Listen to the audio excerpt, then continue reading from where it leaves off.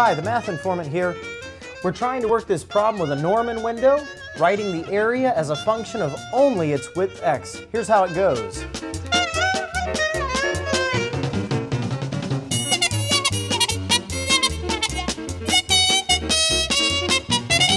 This problem took a little bit of effort to get through, but let's work through the parts that got us here. First of all, we have no idea what the height of this Norman window is. So we've got to just assume that the height is some arbitrary height h. The tools that we'll need in order to do this are twofold. They gave us information about the perimeter. So we're going to need something to work with with perimeter. And we also need a tool for the area. So looking at a Norman window, you've got a rectangle and you've got a semicircle or half circle. If you look at our tools here, for a circle, the area is pi r squared, and its perimeter or circumference all the way around is 2 pi r. And for the rectangle, area is width times the height, and the perimeter would be two widths plus two heights, because you've got two widths bottom and top, and you've got two heights, one on each side, and you add all of those together. In this problem, we've got kind of a quirky issue. We don't know what the radius is directly.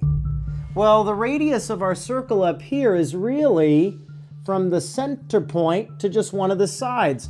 So if you look here, the radius would actually just go from right here, this little dot, over to the end. And that means that the radius is half the length of x. So for the rest of the problem, we need to assume that little r is equal to x over 2 half of the x value. And that'll be enough to get us where we need to be at the end. Now, this is technically a problem that requires solving a system of equations. If you look, you want to start with the perimeter. So this would be equation number one. And the perimeter, looking at the Norman window, the perimeter is going to be 1x plus 1h plus another h. So we get x plus two H's for the sides, but we also need to add to that the perimeter going around this top part of the circle. Well, that's half of a circle. So we'll just do half of whatever the circle is. And half a circle, looking over here at the perimeter, it's 2 pi r. So we have a half 2 pi and the radius r, but we said r is x over 2. So that's why this x over 2 appears right here. Now we can start using some tools we can combine stuff, and we know that the perimeter P was given to be 20. Maybe it's inches, maybe it's feet, who knows? Meters, doesn't matter. So we'll change the perimeter and say it's gotta be equal to 20, it's fixed. And now just start combining pieces in here. So of course this 2 and this 2 will cancel, which leaves us with pi, and it multiplies the x, and it's over 2.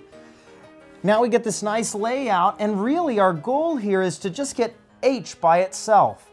So what we're seeing is, in effect, from this step here, we left the 2h on the right side of the equal sign and subtracted x and subtracted the pi x over 2. Then what we did is we just flipped the equality around. So we grabbed it and twisted it and rotated it. So the 2h ended up over here and everything else ended up over on the other side. They're equal. You're always allowed to flip equalities. And then to get from here, we had to divide both sides by the 2. Well, if we divide the 20 by a 2 and the negative x by a 2 and the negative pi x over 2 by 2, that'll stick a 2 under each one of these. So we've got an additional 2 right here from that division, dividing each piece by a 2. And this, of course, will end up giving us a 10 minus x over 2 minus pi x over 4. This is the tool that you need in order to move back over to the area function. So the second equation is the one you're trying to end up with. Equation number two in this system is the function of area. So look at the area function closely. Area for this guy would be the area of the rectangle plus the area of our semicircle. Well, the area of the rectangle is width times height, and our width is x, height is h. xh is our rectangle's area. Then we need to add to that the area of the semicircle, half circle, And the area of this is going to be a circle's area divided by 2. So that'll be pi r squared, but we need to divide it by 2. So we see the half out here is our division by 2. And then inside we get pi r squared. But of course, r we already said was x over 2. So we've got the rectangle area plus the circle or half circles area in this case. And now we start boiling things down, right? Squaring means square the top and the bottom. That'll give us x squared in the top. Square the bottom, we get 4. Then we can multiply the half onto this, and of course the 1 multiplies the top, the 2 will multiply the bottom. And it's at this point, here is the whole key to the problem right here. It's at this point we want all of this to be about the x's because the area is a function of the width, and the width, of course, is x. So that's our goal. And in this, we need to get rid of h. So it's this step right here. There is the key step. What we're going to do is use this definition here for h and substitute it in. So right here, we replace the h that's here with everything we know it was from the perimeter function. It's substitution in a system of equations. Be very cautious though. If you just wrote this for h and forgot your parentheses, guaranteeably you're going to get the wrong answer because x multiplies every component that was h. So this is just a little substitution for h. We stuff it in there and now we let the x hop on to each one of the pieces. First one will give us 10x, x times this x will give us an x squared, x times this last piece will give us pi x squared in the top, and we still got the last guy hanging on at the very end. And now we're in a good enough shape or a, a, nice enough place, we can start to finagle. So technically the answer is done right here. If you want to write an answer just to appease an instructor, there's your answer, give them that. But we want a little bit more finesse. The finesse that we're looking for here is something that's kind of insightful about how the function behaves. So we do some algebra here to get to this result because this tells us something really nice. Here's the algebra. Everything here has an x squared. We need a common denominator. 8 is our guy, right? Common denominator for a 2, a 4, and an 8 is obviously 8. So the guy with the 8 stays the same. This middle term had a 4. We'd multiply the 4 by 2, but we also multiply the top thing that was there by a 2.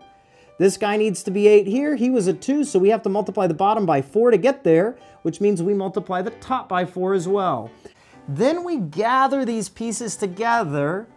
We got a pi x squared from this guy, which is why we could say plus here. He was a plus. 1 pi x squared minus 2 of them, that leaves us with a deficit, a negative pi x squared.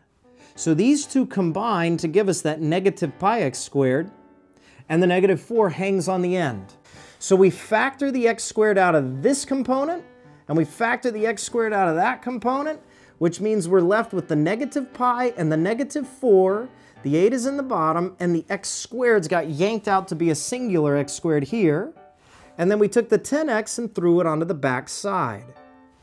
And the very last step was to take these negatives, we factored those or pulled those out, and then left these as positive on the inside.